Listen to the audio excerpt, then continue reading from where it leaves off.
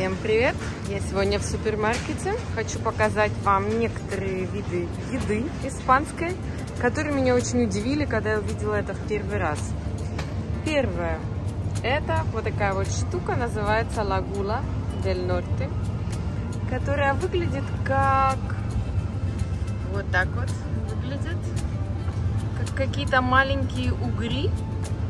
Но это сделано из того же, из чего сделаны крабовые палочки. То есть какая-то смесь рыб, и вот им придана вот такая вот форма. Как вы можете заметить, оно не очень дешевое, но почему-то народ любит эту штуку. Очень странно, как будто ты ешь каких-то, я не знаю, бейби, угрей. Кошмар.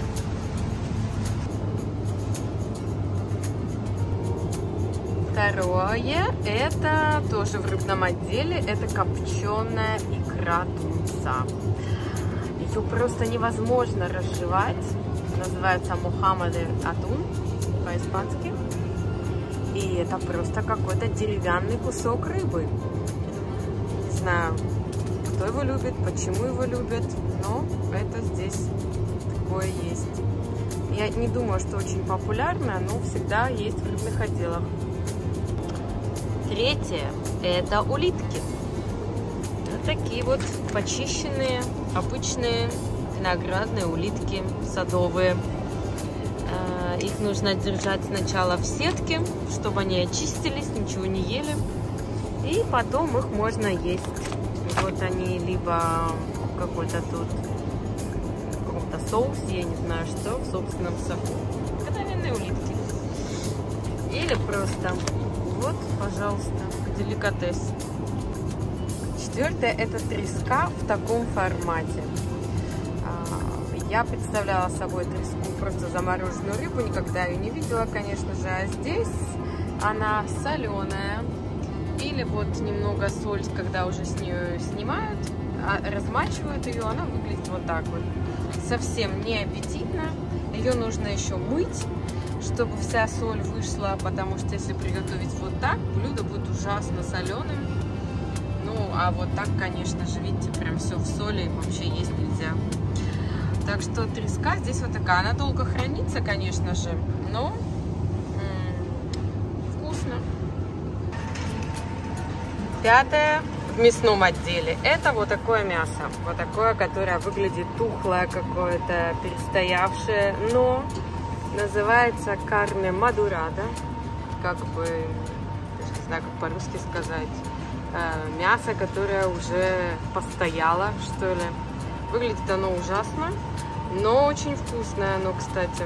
И стоит недешево, кстати. Вот так вот. Шестое – это различные соленые косточки для бульона. Это вот хвост свиной, но есть и просто обычные кости, тоже свиные. Вот. Надо всю эту соль, конечно же, смывать. Бульон получается очень вкусный. Если кому не противно есть э, свиной хвост. Здесь, кстати, очень большая любовь к хвосту и ножкам. Вон они. Национальное блюдо. Пеждофор. Седьмое это бутерброд с шоколадкой. Здесь я его не могу найти в готовом виде. Берете обычный хлеб, вот такой багет, разрезаете вдоль и вставляете плитку шоколада. Вот так вот едят дети в школе. Это, кстати, обычный такой снэк для детей. Я когда увидела, что едят просто хлеб с шоколадкой, как-то мне очень странно было видеть это. Восьмое – это семечки, а вернее их размер и то, что они всегда покрыты солью. Вот они приблизительно, вот это вот их натуральный размер. Действительно мой палец. Гигантские, большущие и невкусные по сравнению с нашими семечками. Какое горе. Вот, в обнимку солью. Зачем их солят? Почему они такие большие? Непонятно. Девятое – это вот такие чипсы, сделанные из шкуры свиней. Просто это вот свиная кожа, зажаренная. И Вот такой вот едят. Это такой постоянный снэк вместо чипсов. Так что пробуйте. Очень калорийно, но достаточно вкусно. Эти чуть посветлее, не настолько зажаренные. Но все равно калорий здесь немерено. Ну-ка. 2333 калории на 100 грамм. Обалдеть. Ну и десятое, пожалуй, это вот такая розовая сальса. Соус. Розовый соус для креветок. Или для салата. Что, в принципе, это майонез с кетчупом. Я бы никогда не додумалась смешать майонез с кетчупом. Но здесь все так делают.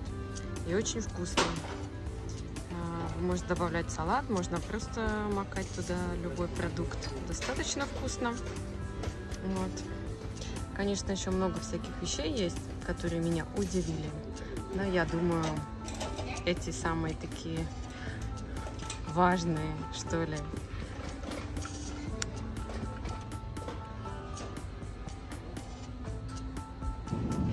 Вот такая у меня история с едой. Рассказывайте, что вас удивило. Ну ладно, увидимся в другом месте в следующий раз. Пока-пока.